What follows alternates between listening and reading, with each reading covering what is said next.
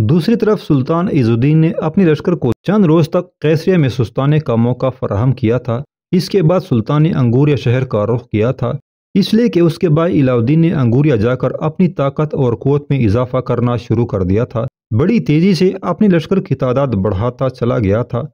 मुस्तकबिल के किसी फितना से बचने की खातर सुल्तान इजुद्दीन ने अपने बाई की तरफ़ से उठने वाले इस फितने को उसके अंजाम तक पहुंचाकर फिर सल्तनत के दीगर अमूर की तरफ़ तवज्जो देना चाहता था। चुनाचे वो लश्कर लेकर अंगूरिया की तरफ़ रवाना हुआ। दूसरी तरफ़ उसके छोटे भाई इलाउद्दीन के कोबात को भी खबर हो चुकी थी कि सुल्तान अपने लश्कर के साथ उसकी सरखूबी के लिए अंगूरिया का रुख किए हुए है। लिहाजा सुल्तान इजुद्दीन की आमद से पहले ही इलाउद्दीन ने अपने लश्कर को अंगूरिया शहर के बाहर उस्तवार कर दिया था, ताकि जो ही सुल्तान वहाँ पहुँचे, उसके साथ जंग की तरह डाल दी जाए।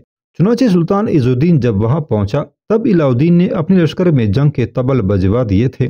सुल्तान इजुद्दीन ने भी अपने लश्कर को उस्तवार करना शुरू कर दिया था।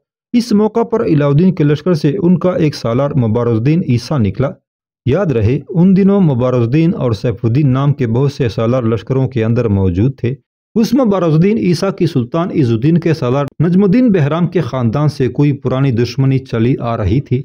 चुनाची मुबारजुद्दीन ईसा बकौल मौरखीन मुसल्ह होकर मैदान में उतरा और नजमुद्दीन बहराम को उसने मुकाबले के लिए ललकारा मौरखीन ये भी लिखते हैं कि जिस वक्त मुबारजुद्दीन ईसा और नजमुद्दीन बहराम सेवा शहर के मकतब में इकट्ठे पढ़ते थे वहाँ भी उनकी किसी बात पर रकाबत और दुश्मनी हो गई थी और तब से ये दोनों एक दूसरे के मुखालिफ और दुश्मन हो गए थे चुनाचे मुबारजुद्दीन ईसा मैदान में आने के बाद रुका और नजमुद्दीन बहराम का नाम लेकर उसने मुकाबले के लिए पुकारा नजमुद्दीन बहराम सुल्तान इजुद्दीन से इजाज़त लेकर मैदान में उतरा। जब वो मुबारजुद्दीन के सामने गया तो मुबारजुद्दीन खा जाने वाले अंदाज में उसकी तरफ़ देखते हुए कहने लगा, एक अरसे से मेरी ख्वाहिश थी कि तेरी गर्दन काटूं। आज मुझे मौका मिला है कि तेरे जिन्नों को बेजहद, तेरे इरादों को सलब और तेरे उमड़ते हेवलों जैसे एहसास को नाआशना सुर्ख सायों में तब्दील करूँ। इस मौका पर नजमुद्दीन बहराम ने खा जाने वाले अंदाज में मुबारजुद्दीन की तरफ़ देखा, फिर कहने लगा बातें करना आसान है, लेकिन जब अमल का वक़्त आता है, फिर पता चलता है कि इरादे किसके सलब होते हैं। मैं तेरे साथ अपनी दुश्मनी को फरामोश कर चुका था, लेकिन तू अगर इस दुश्मनी और अदावत को ताज़ा दम रखना चाहता है तो फिर मैं तेरी कदूरत के कड़वे पन को, शराब वाहमों को जेर करके रहूँगा। इसके साथ ही दोनों इंतहाई खौफनाक अंदाज में एक दूसरे पर हमला आवर होना शुरू हो गए थे। जब काफ़ी देर तक दोनों एक दूसरे से टकराते रहे, कोई नतीजा न निकला तो दोनों अपने मुख्तलिफ़ हथियारों से काम लेते हुए एक दूसरे को जेर करने के दरपे हो गए थे। उनकी इस लड़ाई और उनके इस टकराव को मौरखीन अपने अल्फाज में कुछ इस तरह बयान करते हैं, नजमुद्दीन बहराम ने सुल्तान से इजाज़त हासिल की और मैदान में जा उतरा। दोनों जंगजुओं में तेज तेंदुए की तरह नेज़ों से लड़ाई शुरू होने लगी। जब नेज़ाबाजी बहुत तवील हो गई और किसी को दूसरे पर काबू पाने का मौका न मिला तो दोनों मजबूर होकर अपने हाथ जीन की तरफ़ ले गए और गुरुस्त तान लिए। इससे भी आजिज हुए और कोई मगलूब व गालिब न रहा तो चाह तलवारें खींच कर फैसला कर लें। मगर इलाउद्दीन जो उस वक़्त अंगूरिया शहर में मौजूद था, शहर से बाहर अपने लश्कर में नहीं आया था। उसने अंदरून शहर से हुक्म भेजकर मुबारजुद्दीन को वापस बुला लिया। चुनाचे ये सूरत हाल देखते हुए नजमुद्दीन भी अपने लश्कर में वापस आ गया था। जिस वक्त मुबारजुद्दीन ईसा और नजमुद्दीन बहराम एक दूसरे से टकरा रहे थे, उसी वक्त अपने कुछ साथियों के साथ सैफुद्दीन अबकर लश्कर में शामिल हुआ था।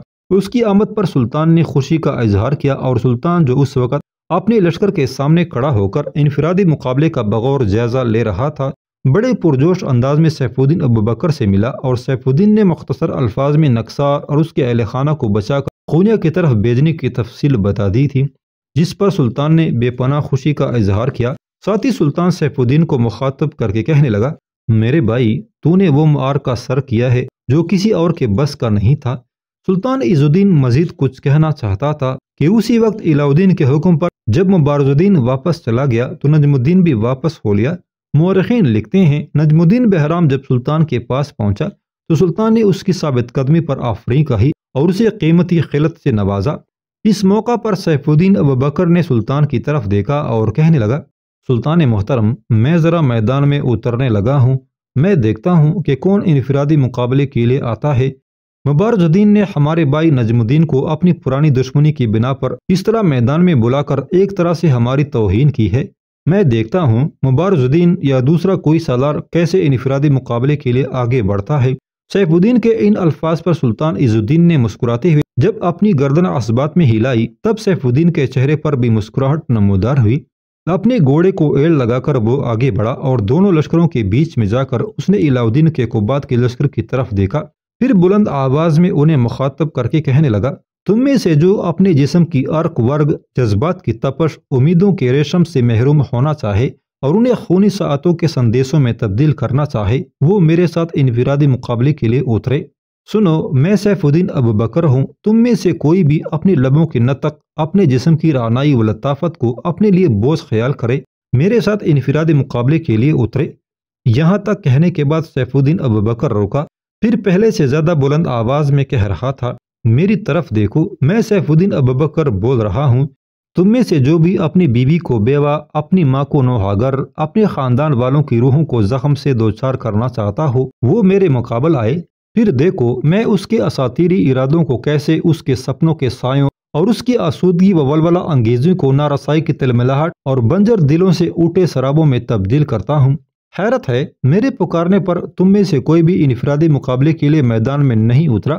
कोई तो हो जो इस मैदान में मेरे साथ इनफरादी मुकाबला करे और सकूत के वकार को खूनी हंगामों में तब्दील कराए। यहाँ तक कहने के बाद कुछ देर तक सैफुद्दीन अबकर वहीं खड़ा रहा, अपनी तलवार को और अपनी डाल को अपने ऊपर लहराता रहा। जब किसी ने उसके मुकाबल आने की इनफरादी मुकाबले की ज़रूरत न की, तब सैफुद्दीन अबकर वापस चला गया था।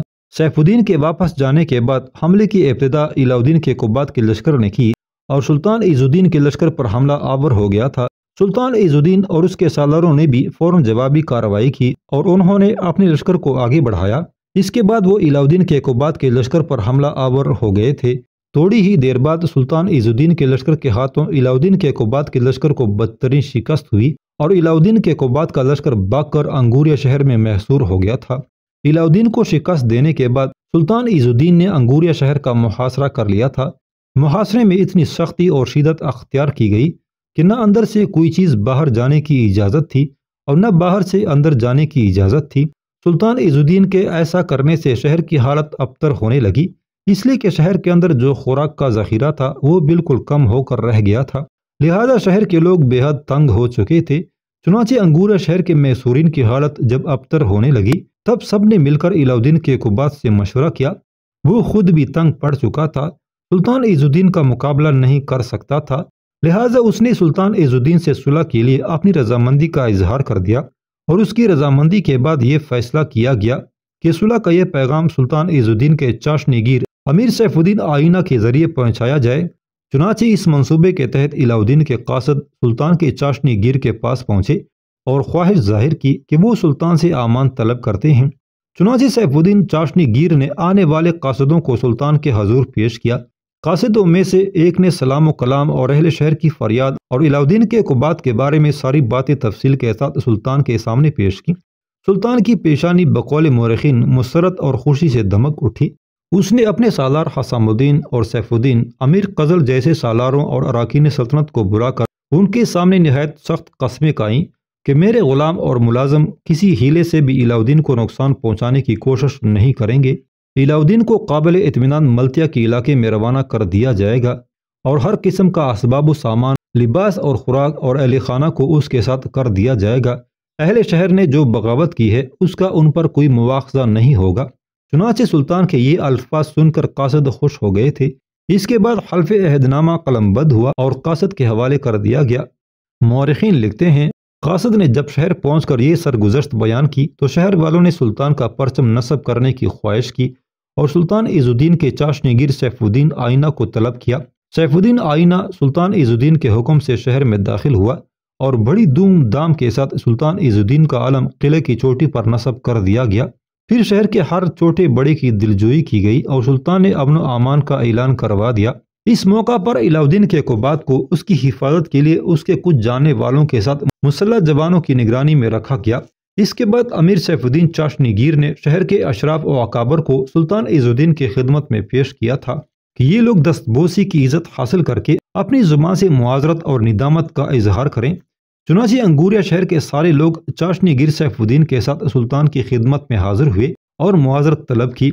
इसके बाद सुल्तान इजुद्दीन भी अंगूरिया शहर में दाखिल हुआ। और अहले शहर को माफ़ करके, उनकी दिलजुई करके एक तरह से उनके दिल जीत लिए थे।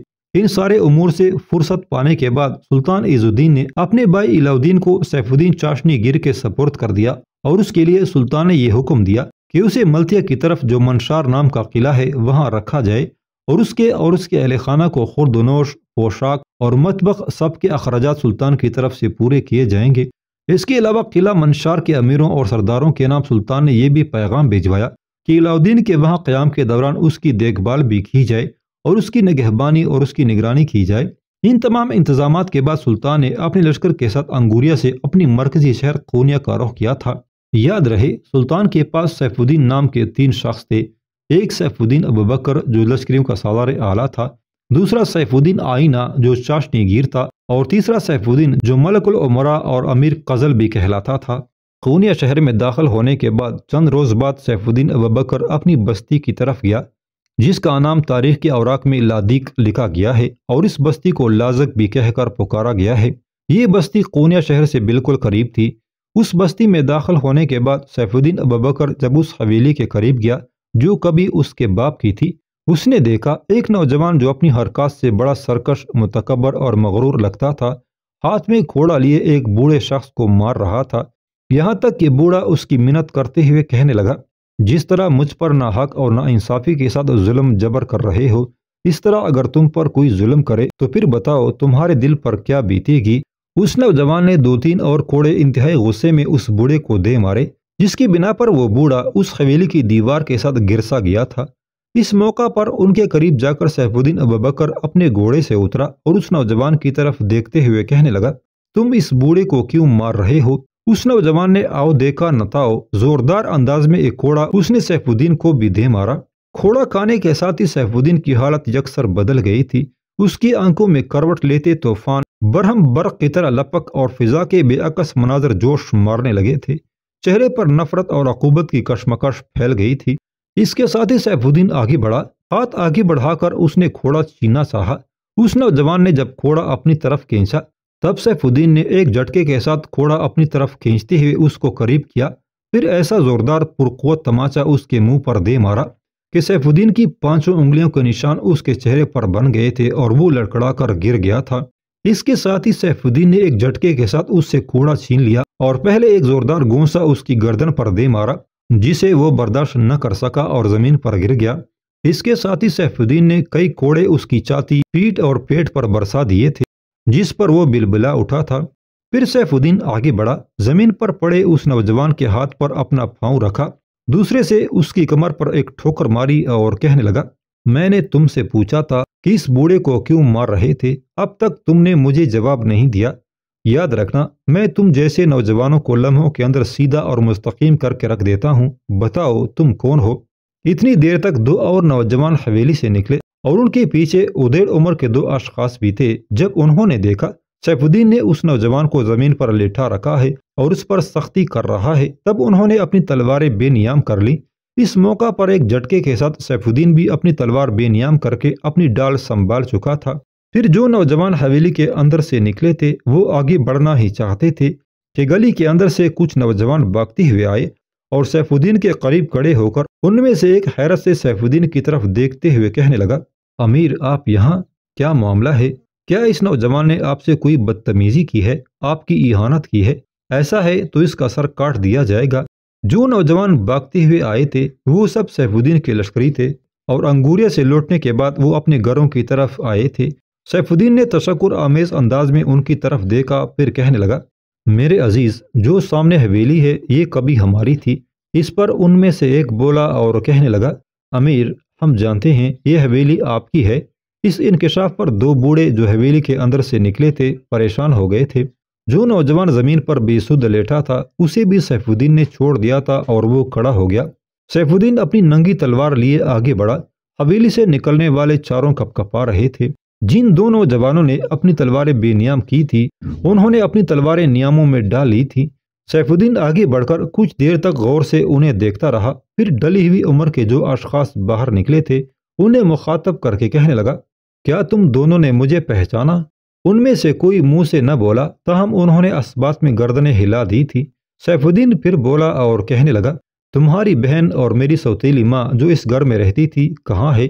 इस पर सैफुद्दीन के जो लश्करी वहाँ जमा हुए थे, उनमें से एक बोला और कहने लगा अमीर सैफुद्दीन, जो औरत यहाँ रहती थी, उसे तो इन लोगों ने भूख का प्यासा मार दिया, वो मर चुकी है, और अब ये इस हवेली पर काबिज हैं। सैफुद्दीन फिर उस नौजवान की तरफ़ मुतवजी हुआ, जो बूढ़े को मार रहा था। अपनी तलवार की नोक उसकी गर्दन पर रखी, फिर कहने लगा, मैंने तुमसे सवाल किया था कि तुम इस बूढ़े को क्यों मार रहे थे? अभी तक तुम्हारी तरफ़ से मुझे सवाल का जवाब नहीं मिला। जवाब में वो नौजवान बोला और कहने लगा, ये बूढ़ा उजरत पर हमारा रेवड़ चराता है कई दिन से लगातार देर से आता है और जानवर अंदर बंदे रहते हैं, बाहर से पेट भर कर नहीं आते। मैंने इसे कई बार कहा कि वक्त पर आया करो, लेकिन नहीं आता। फिर मैंने आज इससे बास पुरुष की। इसने जब उल्टे सीधे जवाब दिए, तब मैंने इसे मारना शुरू कर दिया। सैफुद्दीन ने खा जाने वाले अंदाज में थोड़ी देर तक उसे देखा। फिर हवेली से निकलने वाले उदेड़ उम्र के दोनों अशखास की तरफ़ इशारा करते हुए कहने लगा, ये चार अफराद तुम्हारे पीछे खड़े हैं, ये कौन हैं? इस पर बूढ़े को मारने वाला नौजवान बोला और कहने लगा, जो सबसे पीछे खड़े हैं, उनमें से एक मेरा बाप और दूसरा मेरा चचा है। ये जो दोनों नौजवान आगे खड़े हैं, ये दोनों मेरे चचा आज़ाद हैं। इस मौका पर तंजिया से अंदाज में सैफुद्दीन ने गर्दन हिलाई, फिर दोनों डली उम्र के अशखास को मुखातब करके कहने लगा, तुम दोनों अगर मुझे पहचान चुके हो तो क्या तुम बताओगे कि ये रेवड़ किसका है?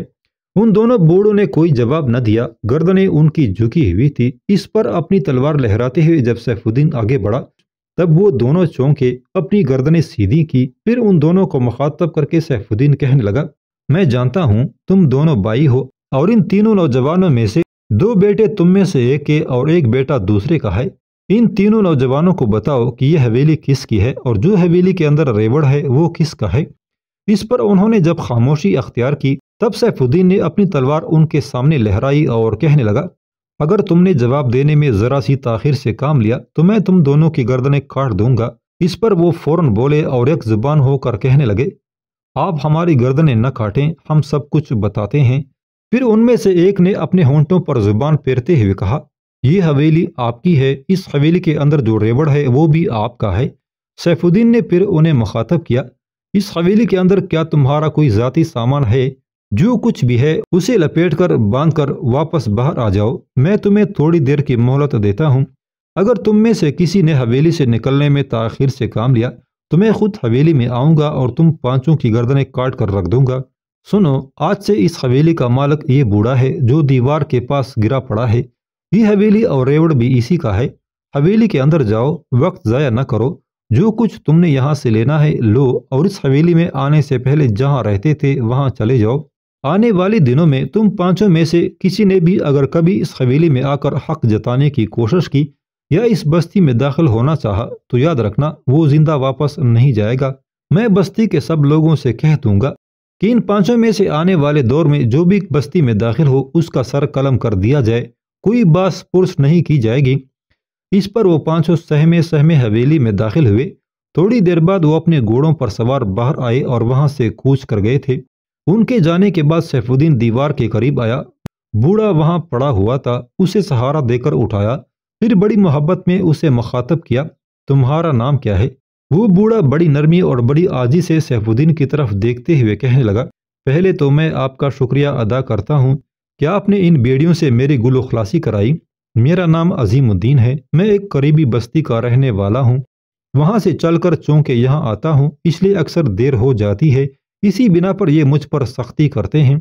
सैफुद्दीन ने अजीमुद्दीन की पीठ तपतपाई और कहने लगा, अब कोई तुम पर सख्ती नहीं करेगा। आज से ये हवेली तुम्हारी है। हवेली के अंदर जिस कदर जानवर है, वो सब तुम्हारे हैं। और तुम इस हवेली और इन जानवरों के मालिक हो। ये अनगिनत लोग जो गली में आकर जमा हो गए हैं। ये ऐलान मैं इनके सब की मौजूदगी में करता हूँ कि तुम इस हवेली के मालिक और जानवरों के भी मालिक हो। तुम अब वापस अपनी बस्ती की तरफ़ जाओ। अपने एहल खाना को लेकर यहाँ आओ और यहाँ मुस्तकिल रिहाइश अख्तियार कर लो। और तुम्हारा जो रेवड़ है, चाहे तुम इसे खुद चराओ या तुम्हारा कोई बेटा इसकी देखभाल करना चाहे, तब भी तुम्हारी मर्ज़ी, तुम्हारे फैसले पर मुनहसर है। मैं यहाँ के लोगों से कहता जाता हूँ कि तुम्हारा ख्याल रखें। कोई तुम पर जबर और सख्ती नहीं करेगा। जो करेगा, वो उसे दुगने जबर और सख्ती से गुजरेगा। हमदर्दी बड़े ये अल्फाज सुनकर अजीमुद्दीन नाम का बूढ़ा बुरी तरह रोने लगा था। सैफुद्दीन आगे बढ़ा, उसे गले से लगा लिया, उसे ढारस थी इस पर उसने अपने आप को संभाला, फिर बिखरती, डूबती हुई आवाज़ में वो सैफुद्दीन को मुखातब करके कहने लगा, काश कुछ अरसा पहले आप जैसा सख्त जान नौजवान पहले, बल्कि बहुत पहले मुझ पर अपना दस्त शफकत रख देता। ये लोग बड़े जालम, बड़े नाइंसाफ थे, बस मुआवजा कुछ नहीं देते थे। कभी कभी अनाज की सूरत में कुछ दे देते थे, या दोपहर और शाम का खाना खिला देते थे। इसके अलावा नकदी की सूरत में मुझे कुछ नहीं देते थे। सैफुद्दीन ने अजीमुद्दीन की पीठ तप तपाई फिर कहने लगा, अब तुम किसी के सामने जवाबदेह नहीं हो। पहले ये बताओ कि जानवर कितने हैं? जवाब में अजीमुद्दीन कहने लगा, जानवर बहुत हैं, सैकड़ों की तादाद में हैं। ये अल्फाज सुनकर सैफुद्दीन मुस्कुरा दिया, कहने लगा अगर इस हवेली के अंदर जानवर सैकड़ों की तादाद में हैं तो फिर आप परेशानी और फिक्रमंदी का इजहार क्यों करते हैं? आपको किसी से नकदी लेने की ज़रूरत नहीं है। जब कभी आपको नकदी की ज़रूरत हो, अपने रेवड़ में से जितने चाहें जानवर बेच दें और नकदी अपने पास महफूज कर लें। कोई आपसे बास पुरुष करने वाला नहीं है। इसलिए कि रेवड़ और हवेली तो अब आपकी ज़ाती मलकियत है। मेरा नाम सैफुद्दीन अबू बकर है और मैं सुल्तान इजुद्दीन के लश्कर का सालार हूँ। आने वाले दौर में तुम्हें अगर किसी चीज़ की ज़रूरत हो या तुम्हें कोई नाजायज़ तंग करे या जिन लोगों को मैंने यहाँ से निकाला है, वो किसी मौके पर यहाँ आकर तुम्हारे साथ सख्त कलामी करें तो इस बस्ती के लोगों में से किसी के ज़रिए मुझ तक पैगाम पहुँचा देना। फिर देखना मैं उनका कैसा हशर नशर करता हूँ। अब तुम पहले हवेली की तरफ़ जाओ, इसके बाद हवेली को बाहर से कुफल लगाओ। जानवरों को फ़िलहाल अंदर ही रहने दो। अपनी बस्ती में जाकर अपने अहल खानों को यहाँ लाओ। इसके बाद रेवड़ को चराने के लिए बाहर लेकर जाना। अब तुम जाओ, मैं भी यहाँ से कूच करने लगा हूँ। मैं सिर्फ़ इस हवेली को देखने के लिए आया था, जिसमें मैंने अपना बचपन गुजारा। क्योंकि अब यह हवेली मैं तुम्हें दे चुका हूँ, लिहाजा मैं इसमें दाखिल नहीं हूँगा इसके साथ ही उस घोड़े की पीठ सैफुद्दीन ने तप तपाई। जब वो अपने घोड़े की तरफ़ बढ़ने लगा, तब उस बस्ती के नौजवान जो सैफुद्दीन के लश्कर में शामिल थे, सैफुद्दीन के सामने आए और उसे मुखातब करके कहने लगे अमीर आप यहाँ कुछ देर आराम करें, दोपहर का खाना खाकर जाएँ। सैफुद्दीन ने उनका शुक्रिया अदा किया, उस बूढ़े का ख्याल रखने की ताकीद की फिर वो अपने घोड़े पर सवार हुआ और उसे एड़ लगाकर बस्ती से निकलने के बाद वो कूनिया शहर का रुख कर रहा था